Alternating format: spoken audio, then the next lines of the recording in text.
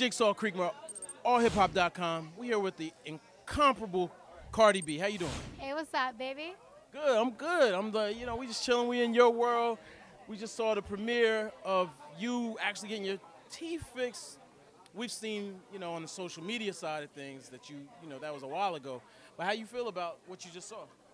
I feel good. You know, um, I actually already knew what, what was gonna happen because I was there that day, and I'm I'm actually real happy. You know, like I'm I'm real glad that I was Dr. Catrice. Like, not only is she amazing, but like she's she's one of ours. Yeah, like yeah, she's one of our people, Yeah. and she practically changed my life, nigga.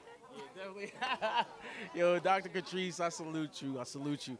In fact, she tried to get one of my friends right a few years ago, but I didn't know how to tell him you should probably get your teeth fixed. How did you come to the conclusion that you should make that happen? It was just something that people just keep talking about, keep talking about. And I know that I was gonna do more things on TV. Like I have a lot of more projects coming up on TV, and it's just like, you know what? Like I don't want like my teeth distracting people from my talents or what I do. So I'm like, fuck it, let me get it fixed. And people really can't talk shit now. Like mm-hmm, mm-hmm. they can't. They mm-hmm. nothing. Was it hurtful for you? Because I know that social media, it's like a mob mentality, a lot of bullying going on. Did it did it bother you? it kind of do hurt me. It kind of do bother me because, um, you know, I'm a woman, and us women, as much as we be like, I don't give a fuck. I don't give a fuck. We really do give a fuck, especially when it comes on to how we look. Like it's a little painful, you know. Sometimes I see bitches that they my opposition on TV, like the bitch from today, and I don't like her, but I wouldn't want people bullying her. Like I'm just not the, cause it hurt. Like I know how that shit goes. Yeah, yeah. Okay. Let's talk about your, your, your rap career a little bit. Um, I was just talking to one of my good friends today, and I was like, yo, Cardi B got some joints. How did you get into the hip hop world? Is that something you've always done, or is that just new to you? It's something that I always wanted to do. I just never really did it because I didn't have the funds for it. I never really had a manager. I never had the time. You know, when you grow up and shit, and you you know you realize you gotta pay bills and you gotta put your money in somewhere else like rent and shit. It's like you give up on your dream. And then as I got a manager, he was like, "Yo, you always remixing shit. Like you actually pretty good. Like why don't we get to it?" And I was like, "I more or less." And I did it, and it's just actually better than I ever thought it would be. So, are you uh, you trying to go for like say Nicki Minaj's slot? You trying to go for that number one slot? I mean, not even not even female, as just in general. I'm trying to be the best at whatever I could be. Like, I'm trying to be, you know, like I'm trying to make money, a lot of money, and I'm trying to, I want my shit to be respected. Like, you know, I'm a very funny person, and I know my character could um, overshadow a lot of things, but that's why I go so hard on my music, because I want to be, people be like, damn, she funny, she play around, but her music is nothing to play with, and that's what I want. Respect. It's all about money. It's all about respect. So that's the other thing. How how much of that that we see on TV or even social media is really you? You seem you're so you know pretty, cute, and even quiet. I was just seeing you real quiet in the corner. How much of the personality is really you? I mean, it really depends. Like, you know, like when I'm around my friends, that could be me. Like, or when I'm in a party, that could be me. But sometimes, you know, like when I'm in a public place, you know, you're gonna act a certain way. Like, being like being ratchet, it should be like a, a emotion. Like you could turn it on and off. Like that's how it should be. Like if it's always on, then it's bad. If it's never, if it's always off, then it's bad. So you know, you have to like be balanced. You like you need to know where a boundary, but. Mhm. What's uh you know what do you have coming up next? Well, I actually have my mixtape coming up in this December. It's called Gangsta Mix Music Volume 2. And from that, it's gonna be it's gonna be real different than the push is gonna be way more different than the first one. I actually have a lot of things also, you know, coming on on TV. It's just I'm you know, I'm very private. I really don't like to put things out when I like to surprise people. I love I love when I see my comments and people underestimate me. I love that, you know, because if people hype me up all the time, I'm gonna get too comfortable. So I like when people be like, "Oh, you ain't shit. Your 15 minutes of fame gonna be up, this and that." I love that. So that makes me be like, I got a surprise for you. Who would you like to work with musically? I would like to work with anybody that is great. You know, I would like to work with big artists. I'm not gonna name them because just in case they curve me, I don't want to be like, damn, I should never shouted that bitch or that nigga out. But whoever that is great, I will. And anybody that is very unknown, I would like to work with as well, as long as they great. Know, no, uh, not a lot of people know my producer is an artist. Swift on Demand, and I like working with him because I think that he's great. And if I could elevate him, that'd be great. Like I like to look out for people that's talented, that is hard to get put on because it's a certain type of way and certain type of things that you gotta do to get put on in the industry. Now, a lot of young people, young girls, and, and, and women as well look up to you, look like admire you even. What advice would you give anybody that's trying to maybe do what you do or get into the uh, entertainment business? Um, one thing that you have to do is um, if I was a female, like don't be like this is the thing. You have to be able to network and don't network in a slutty way. Like don't don't meet an artist and you and thinking like sleeping with him is gonna get you somewhere. Don't meet a producer, don't meet a a A&R and think that sleeping with them is gonna get you away. Don't ever don't let your pussy talk. Like let let your music talk. And um be be humble, be friendly. You know, so I'm I'm a very quiet. I'm not I'm not quiet person, but I don't really like to interact too much because sometimes I get shy. But you got to break off that show, like introduce yourself, like, hey, my name is this, my name is that, and don't ever don't ever feel like you got to sleep with somebody to get to where you want to be. You know, a lot of people, a lot of girls, they they're real pretty and they want to get put on, and niggas will make you feel like, well, I, I, I got you, like don't you don't need that.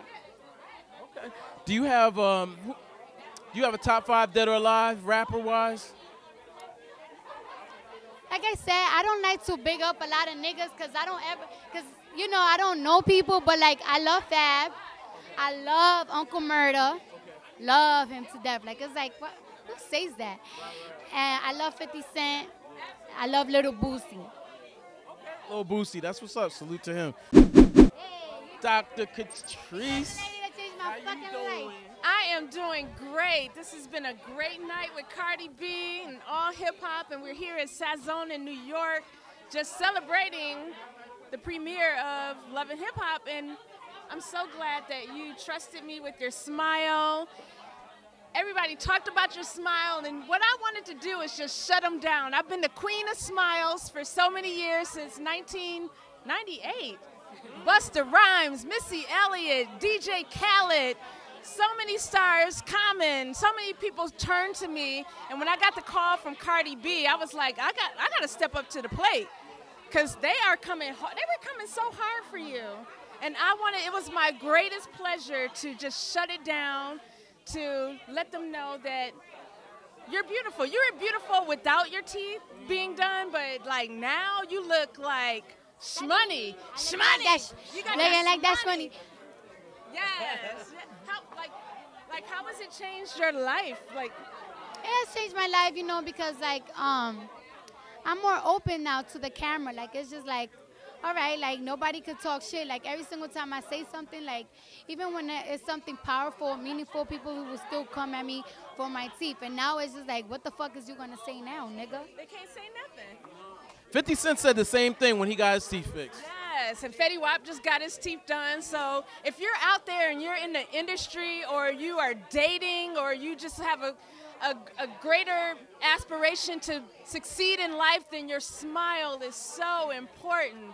It's one of the first things that people will notice about you, and that's what Cardi B recognized. So I'm glad that you called on me. Thank you so much. Aww. What makes a good smile? A good smile. Yeah, the, the veneers make a good smile. Okay, perfect. What makes a beautiful smile is a clean smile. I wanted to see pink, healthy gums, fresh breath, but when you want to turn it up with your smile and take your smile to the next level, most people will at minimum do teeth whitening, bonding, change the silver fillings to white, and get porcelain veneers. That's what all of the celebrities do. They get porcelain veneers, She paid a little shmoney for it. We got payment plans. It's, it's an investment. Like when you think about advancing in life, you need to make an investment in yourself. So it may be your house, buying a new house, buying a new car, but the smile is what will take you to the next level. They told me a long, long time ago I had a Colgate smile. I didn't even know. I never even heard of that term before. Absolutely. A Colgate smile is like the epitome of having a perfect smile. So, like I said, the, the, the minimum that you could do is come to your dentist, get a checkup, cleaning, x rays, and whiten your teeth. And I promise you, if you're looking for love, if you want to take your career to the next level, because it matters. Like a, lot of people I see spending money on Louis Vuittons and like making sure they go to the nail salon, the hair salon, but the teeth matter so much. And I'm so grateful that Cardi B gave me the opportunity to display how I get down with the teeth. And I hated my smile. The reason why I became a dentist is because when I was in high school, hated my smile. They were buck teeth, space. I didn't feel confident, and just going to the dentist and getting braces and wearing them for a year changed my life. And I was like, at that moment, I have to be a dentist because I want everybody to understand the power of a smile. And that's why I, when I wake up every day, I love what I do. I know I'm changing lives. What you think about gold fronts? What's your views on that? Okay, here's the thing with gold fronts. If it's for fashion, I'm okay with it. If you're doing it and your teeth are not clean, your gums are not healthy, because one of my pride and joys is I work with Slick Rick. He had gold front. You know, he lives by the gold front. Right. Back in the day, I was taking care of his smile, and it was healthy. As long as it's healthy, I'm okay. I work with ASAP Rocky putting diamonds in his teeth. If it's for fashion, I'm okay with it. Um, so as long as you get it done professionally by a dentist, it's okay because we can reverse any of the results of something that we give you. But if you're going to a jeweler, you're not seeing a dentist, you're not making sure your gums are healthy before you get this done, it is a recipe for disaster. I will never forget Birdman. He said this in, in a magazine that he didn't care. He put fronts on his teeth knowing they was going to rot and corrode underneath. And he was cool with that. What? How did you know? It's not cool because at the end of the day, it's gonna hurt. And when it hurts, it's gonna cost you a lot of money. So I'd rather you make sure that it's healthy first, and that's what I do with all, all of my clients. Make sure your gums and your teeth are healthy, and then we can beautify mac it out, diamonds, grills, whatever we need to do. But let's just make sure health comes first. And after that, you're good. So every six months, make sure you're going for a checkup and cleaning. Every six months? Every six months. And if you have diabetes you may, or advanced gum disease, you may need to go every three to four months. So get that checkup. It's the end of the year. It's time to pick your new dentist, pick your insurance. Make sure that you get that checkup because that oral health, that bacteria in your mouth can travel through the heart and through your bloodstream and cause serious health problems. There are 120 diseases that I can detect in the mouth. I've seen herpes, I've seen yeast infections, I've seen HIV in the mouth. All that stuff shows up in the mouth first. So before we make it nice and pretty, we want to make sure it's healthy. And that's real. That's real talk. All right, then. That was too much reality. Too much real- hey, we're talking about reality and love and hip hop. You want to make sure that your gums and your teeth and your mouth is healthy. So, if you're looking for a dentist, if you want advice, I have a new book that's on Amazon.com. It is called Get Smiled. And that's what Cardi B did. She got smiled. Or visit my website at VIPsmiles.com. I have a special actually a, a special for $99 where you can come to my office, we'll do x-rays, we'll do checkup, we'll do cleaning, and we'll tell you how you can have a beautiful, healthy smile just like Cardi B. Okay, and lastly, how was it being on reality TV? Well, you know what? This is my second appearance because I was on season two of Love and Hip Hop Okay. with Somaya Reece, uh-huh. and it's great. You know, it's great. So what's great for me is not the fame, not being on TV, it's the opportunity to let people know how important a smile is and to display, like Cardi B, how you can. You don't have to live with your smile. It, there's, with advances in dentistry, you can change how you look. You can make your smile beautiful. So if there's people, you're not happy about your smile, or other people are telling you you need to change that, there's options. There's bonding, there's Invisalign, there's implants, there's veneers, there's so many things out there that people just don't know. So I am out here to be like your Dr. Oz of dentistry. I'm giving you guys the 411 on dental health. So visit me, VIP Smiles. I'm on Instagram, Dr. Catrice Austin, Facebook, Dr. Catrice Austin. Twitter, Dr. Catrice Austin. I'm just Dr. Catrice Austin everywhere. So you guys will know that there's options and you can have a beautiful, healthy smile and enjoy life and live life to the fullest. That's what's up. I'm gonna check in with you soon. Mm-hmm. Thank you so much, All Hip Hop. You rock. I, see, I, I follow you on social media and you be killing it. I love it. I follow you too. And you be killing it too. I mean, we, we're just awesome. We're awesome together. Thank you. Love each other. Love you too.